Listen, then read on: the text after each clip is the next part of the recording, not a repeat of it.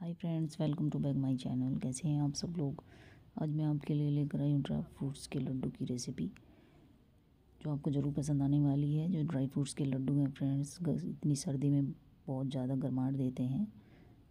और पौष्टिक भी होते हैं, इन्हें बच्चा बूढ़ा कोई भी खा सकता है। तो चलिए शुरू करते हैं आज की रेसिपी ये देखिए, मैंने गैस के ऊपर कढ़ाई चढ़ा दिया है, इसमें डाला है मैंने दो चम्मच घी मैंने देसी घी लिया है। आप चाहे तो वनस्पति का भी यूज़ कर सकते हैं, लेकिन लड्डू में देसी घी अच्छा लगता है। एक कटोरी मैंने ले लिया है बादाम कटे हुए।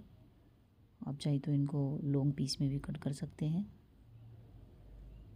ये देखिए, गैस की फ्लेम मैंने रखी है स्लो बिल्कुल। और इसके बाद हम एक कटोरी डाल देंगे इसमें काजू। और इनको भी हम रोस्ट कर लेंगे। गैस की फ्लेम हमें बिल्कुल हाई नहीं रखना है, मीडियम टू स्लो ही रखना है और धीरे धीरे करके हम इनको हल्का ब्राउन होने तक की रोस्ट कर लेंगे। ये देखिए, हमारे जो काजू और बादाम हैं, उनका ब्राउन कलर हो चुका है तो अभी हम इनको निकाल लेते हैं एक प्लेट में।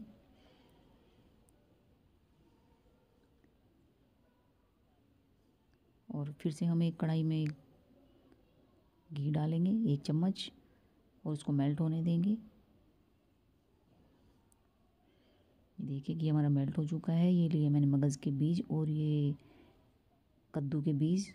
मुझे इनका नाम नहीं पता था फ्रेंड्स क्या है? दुकान वाले भैया ने मेरे को बताया था कि ये कद्दू के बीज होते हैं। इनको भी हम ऐसे ही रोस्ट कर लेंगे। ज़्यादा हमें इनको सीखना नहीं है, दो से तीन मिनट के लिए बस। ये देखिए, हमारे मगज़ के बीज भी हो चुके हैं, इनको भी हम एक उसी प्लेट में निकाल लेंगे और अभी लेंगे हम मखाने।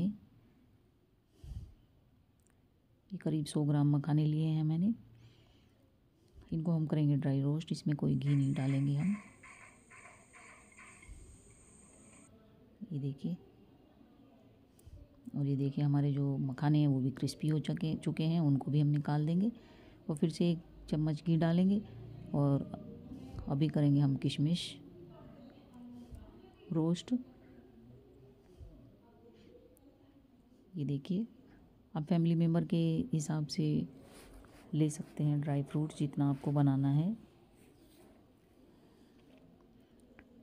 ये देखिए हमारी किशमिश भी हो चुके हैं और अभी लेंगे हम नारियल जो मैंने कद्दूकस करके लिया है अगर आपके पास नारियल का बुरादा है तो आप वो भी यूज़ कर सकते हो इसमें। और इसको भी हम ड्राई रोस्ट करेंगे।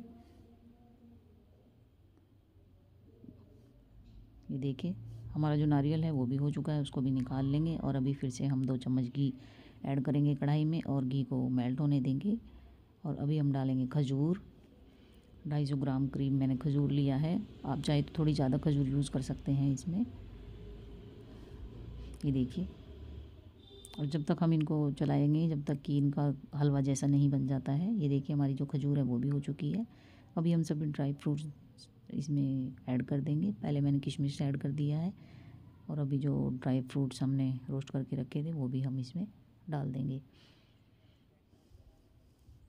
ये लड्डू बहुत ही अच्छे होते हैं फ्रेंड्स, सर्दियों में एक लड्डू रोज़ खाना चाहिए हमें। ये लड्डू बच्चे भी खा सकते हैं, बड़े भी खा सकते हैं। ये देखिए मैंने मखाने मिक्सी में ग्राइंड करके रख लिए थे।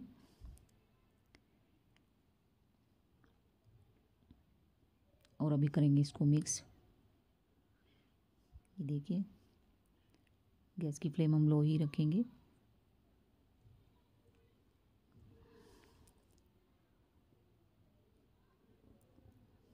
ये देखिए, इस तरह से हमें मिक्स कर लेना है इसको।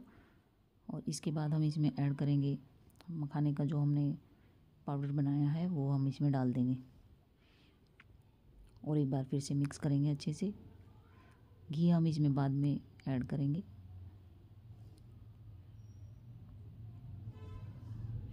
ये देखिए, अगर आप इसमें मोटे मोटे ड्राई फ्रूट्स नहीं डालना चाहते तो आप सभी ड्राई फ्रूट्स को ग्राइंड करके भी इस लड्डू को बना सकते हो।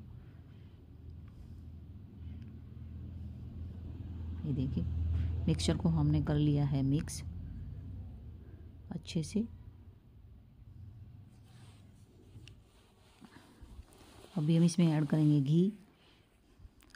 मिक्सचर हमारा गर्म ही है, इसलिए मैंने ठंडाई घी डाल दिया है फ्रेंड्स इसमें। और ये देखिए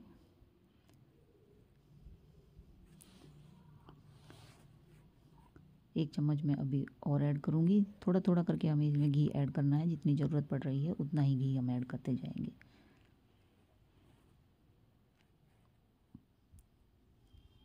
ये देखिए, आजकल फ्रेंड्स जो लड्डू बना रहे हैं, हम तो उसका मिक्सचर भी इतनी ठंड है कि बहुत जल्दी ठंडा हो जाता है। ये देखिए, हमने सब पूरे मिक्सचर को मिक्सचर को अच्छे से मिक्स कर लिया है और अभी हम लेंगे एक बड़ा बर्तन और पूरा जो हमारा ड्राई फ्रूट्स का मिक्सचर है, उसको हम ट्रांसफ़र कर लेंगे एक बड़े बर्तन में और फिर से मिक्स करेंगे इसको। ज़रूरत के हिसाब से हम इसमें घी डालते जाएँगे। ये देखिए फ्रेंड्स मिक्स भी नहीं हो रहा है, बहुत ज़्यादा गर्म है, लेकिन फिर भी मैं कोशिश कर रही हूँ उसको मिक्स करने की। क्योंकि ये जो लड्डू बनते हैं ना फ्रेंड्स थोड़े गर्म गर्म ही बनते हैं। ये देखिए, अभी मैं इसमें घी गर्म करके डालूँगी।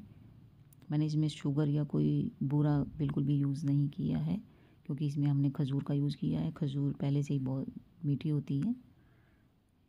ये देखिए थोड़ा थोड़ा घी करके घी डालेंगे और मिक्स करते जाएँगे।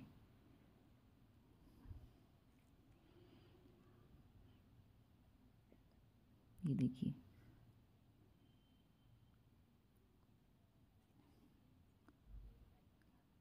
लग रहा है ना मिक्सचर हमारा बहुत अच्छा फ्रेंड्स लड्डू भी बनकर इतने अच्छे तैयार होंगे। शुगर फ्री लड्डू है फ्रेंड्स ये बिल्कुल ही। आप इसमें बस थोड़ी सी खजूर की क्वांटिटी बढ़ा दीजिएगा। अगर आप इस रेसिपी को ट्राई करेंगे तो।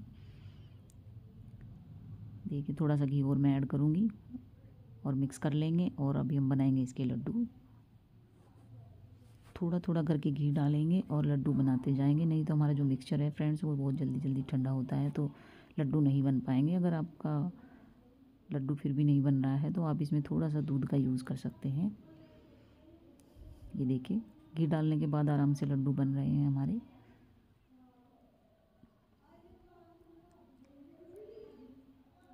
ये देखिए, बनाया ना कितना सुंदर लड्डू हमारा। अभी मैं आपको दूसरा भी बना के दिखाती हूँ।